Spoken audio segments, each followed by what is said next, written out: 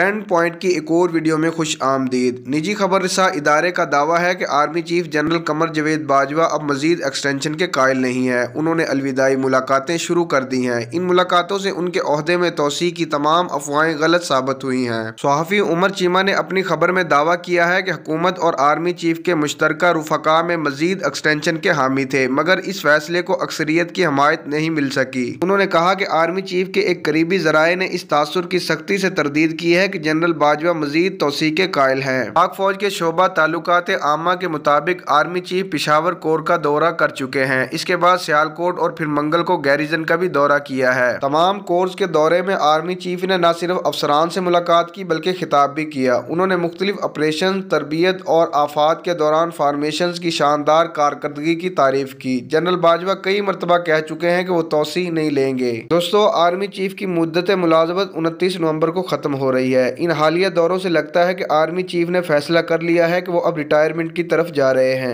इससे भी हैरान कन बात यह है कि अभी तक नए आर्मी चीफ की तैनाती का फैसला नहीं हुआ जबकि रवायत यह है कि तकरीबन एक महीने पहले नए आने वाले आर्मी चीफ का ऐलान कर दिया जाता है